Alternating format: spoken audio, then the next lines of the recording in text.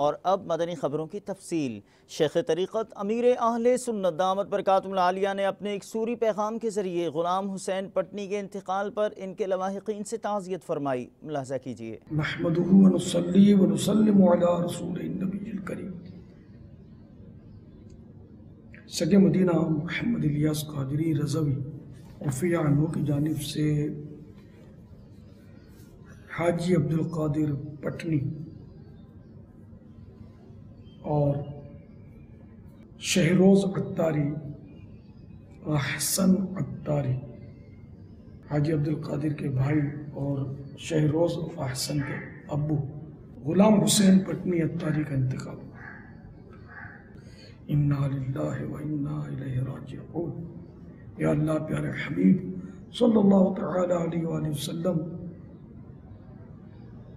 کے صدقے مرحوم کو غریق رحمت فرما۔ یا اللہ مرحوم کے تمام صغیرہ کبیرہ، گناہ معاف فرما۔ یا اللہ ان کی قبر کو جنت کا باغ بنا۔ یا اللہ ان کی قبر پر رحمت و رضوان کے پھولوں کی بارش فرما۔ یا اللہ ان کو جنت الفردوس میں اپنے پیارے حبیب صلی اللہ تعالی علیہ وآلہ وسلم کا پڑوس نصیب فرما۔ آمین۔ بجاہ النبی الامین صلی اللہ تعالی علیہ وآلہ وسلم. صلو علی الحبیب. صلی اللہ تعالی علی محمد. حاج عبد القادر شہروز اور احسن اور تمام سوگواروں کی خدمت میں کچھ مدنی پھول پیش کرتا ہوں. میرے پاس رسالہ ہے، مکتبۃ المدینہ کا جوانی کیسے گزاریں؟ اس کے صفحہ نمبر تیرہ تا چودہ. حضرت علامہ ابن رجب حنبلی علیہ رحمۃ اللہ ولی جوانی میں عبادت کے متعلق فرماتے ہیں، جس نے اللہ تعالیٰ کو اس وقت یاد رکھا جب وہ جوان اور توانا یعنی طاقت والا تھا۔ اللہ عز و جل اس وقت اس کا خیال رکھے گا جب وہ بوڑھا اور کمزور ہو جائے گا۔ اور اسے بڑھاپے میں بھی اچھی قوت سماعت یعنی سننے کی طاقت، بصارت یعنی اچھی دیکھنے کی طاقت، اور ذہانت عطا فرمائے حضرت ابو طیب تبری رحمت اللہ تعالی علیہ نے سو سال سے زیادہ عمر پائی۔ آپ رحمت اللہ تعالی علیہ ذہنی اور جسمانی لحاظ سے تندرست اور توانا تھے۔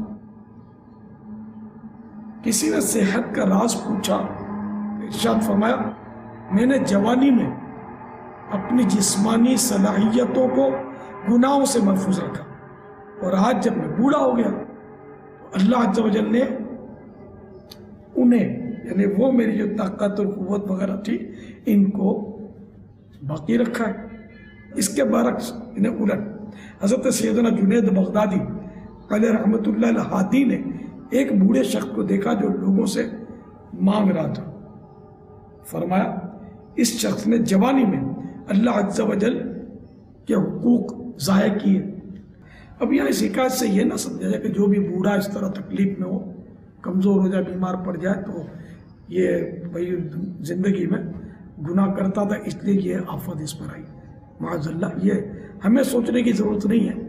جنید بغدادی علیہ رحمۃ اللہ الحادی تو بہت بڑے ولی اللہ تھے انہوں نے اپنی چشم بصیرت سے دل کی آنکھوں سے وہ دیکھ لیا ہوگا کہ اس نے گناہ کیے ہوں گے، تو اس لیے آپ نے یہ ارشاد فرمایا۔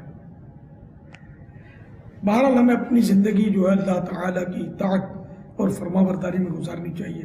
جیسے بھی شاوان المعظم کا پیارا پیارا مہینہ ہے، رمضان المبارک کی آمد آمد ہے۔ پابندی وقت کے ساتھ، نمازوں کا سلسلہ رکھیے۔ رمضان المبارک کے پورے روزے رکھیے۔